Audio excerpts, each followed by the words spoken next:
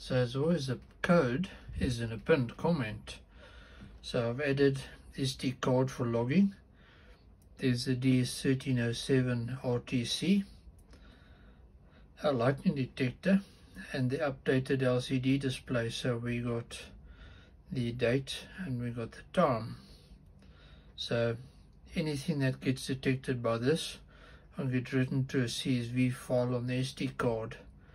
And of course we've got an UNO over there controlling it. So that's our setup. That obviously is SPI. Everything else is I squared C as you can see from that cluster of wires there. So that's the update on this. A full setup for a, a lightning strike recorder. So ladies and gentlemen, thanks for being here, watching this. Interesting stuff. Take care, have an awesome day further, and I'll see you next time for more awesome stuff. Alrighty, bye.